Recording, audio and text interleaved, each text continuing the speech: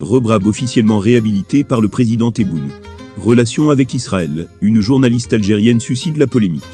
La France ouvre ses frontières aux étudiants algériens. Le frère de Khaled Rarni révèle J'ai informé le gouvernement américain.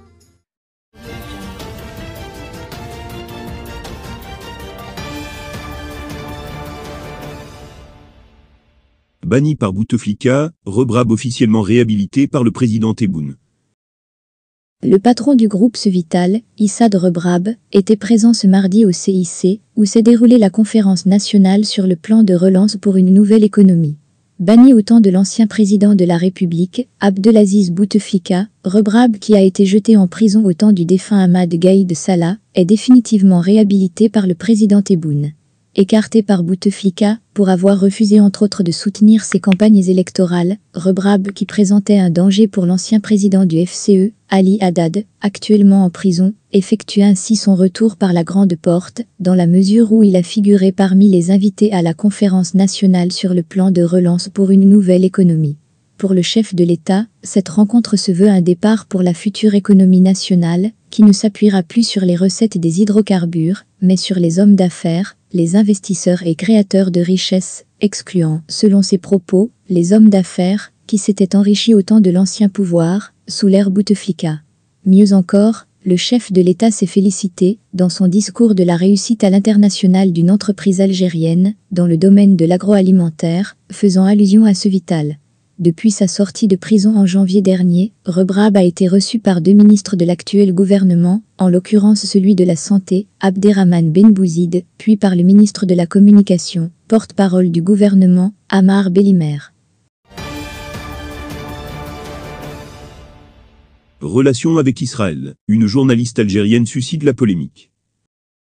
Fadila Swissi, la journaliste algérienne de la chaîne émiratie Sky News Arabia, est au cœur d'une vive polémique sur les réseaux sociaux en Algérie. La présentatrice a interviewé le premier ministre israélien, Benjamin Netanyahou, quelques jours après l'annonce de la normalisation des relations entre les Émirats arabes unis et Israël.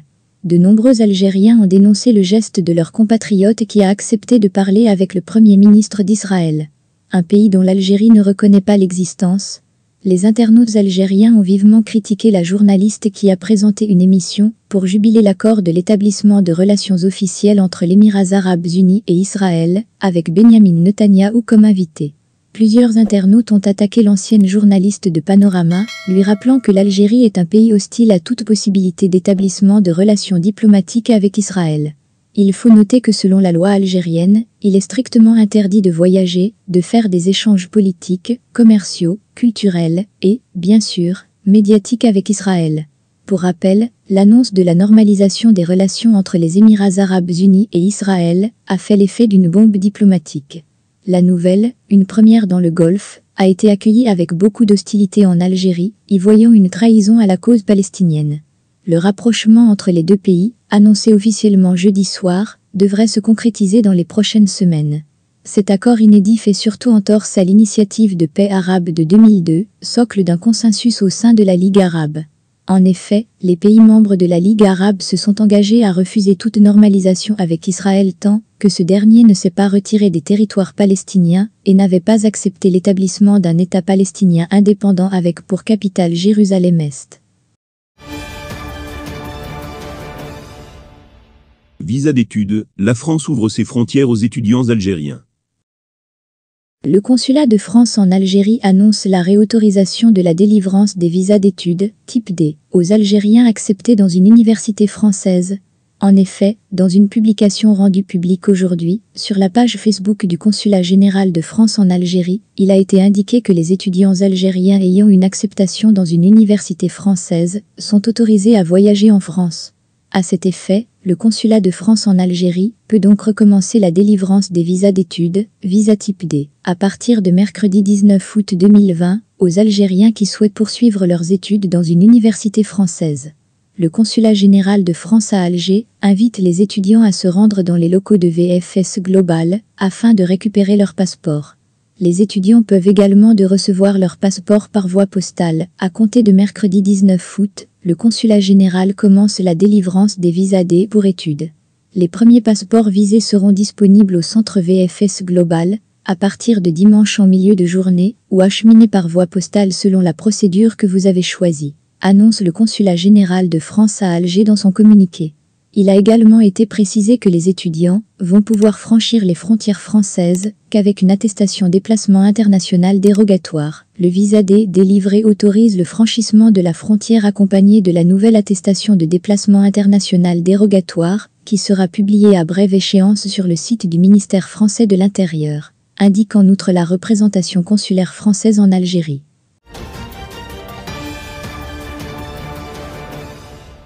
Le frère de Khaled Drarni révèle J'ai informé le gouvernement américain.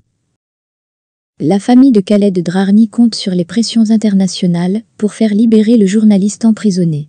C'est par la voix de son frère que nous apprenons que des contacts ont été entrepris avec des capitales et des institutions étrangères pour inciter le pouvoir en Algérie à mettre fin à la détention du correspondant de Reporters sans frontières et de TV5 Monde en Algérie.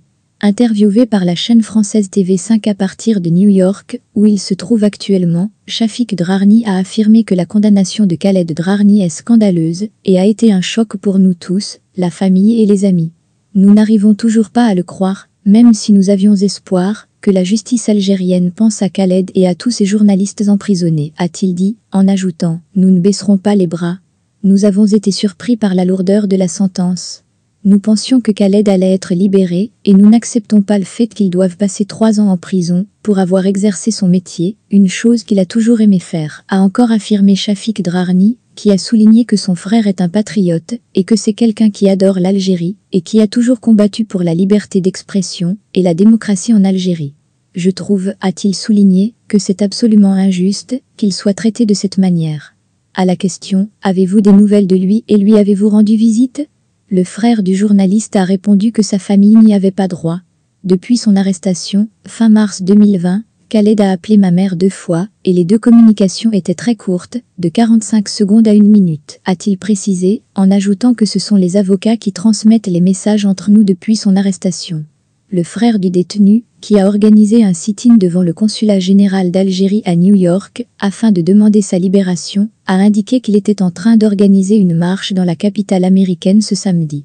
Je compte me rendre à Washington pour y soutenir toute la communauté algérienne qui se bat pour la démocratie en Algérie et pour la liberté d'expression, a-t-il fait savoir, en insistant. Nous serons là-bas non seulement pour soutenir Khaled, mais tous ceux qui ont été injustement arrêtés et traités de cette manière. Shafik Drarni a confirmé qu'il avait le soutien de plusieurs pays, mais a préféré ne pas en dire plus pour le moment. Nous avons entamé des démarches avec plusieurs pays étrangers et je puis vous assurer que nous avons le soutien de plusieurs leaders, présidents et premiers ministres de plusieurs États européens et autres, a révélé Shafik Drarni en signalant qu'il était personnellement en contact avec le gouvernement américain. Nous sommes en train de faire bouger les choses au maximum, a-t-il insisté, Évitant de répondre de façon directe à une question sur la justice algérienne, le frère de Khaled Drarni a contourné la question en rétorquant « Je fais plutôt confiance à l'Algérie et au drapeau algérien » et de conclure « Nous sommes tous patriotes et nous espérons que le système changera et que Khaled et tous les détenus d'opinion seront libérés. En tout cas, nous militons pour que cela soit réalisé. Abonnez-vous à notre chaîne. Cliquez sur la cloche pour rester au courant de l'actualité algérienne.